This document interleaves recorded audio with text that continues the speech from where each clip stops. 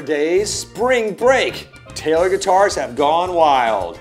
From March 20th until May 2nd, if you buy one Taylor guitar 300 and up, this is an 800 series, you get a GS Mini Mahogany or Rosewood for $99. That's right, $99 gets you a GS Mini or an Academy 12 Nylon or a GS Mini. Taylor Days Spring Break also allows you to get a 1 or 200 series guitar and you get a Baby Taylor for $99. Buy any 300 series or higher Taylor guitar and add any acoustic GS Mini or Academy series guitar for just $99. Buy any 100, 200, 200 plus or 200 deluxe series Taylor guitar and add any acoustic Baby Taylor for just $99. From March 20th until May 3rd, 2020. Taylor Days Spring Break Sales Event. Quality Taylor guitars.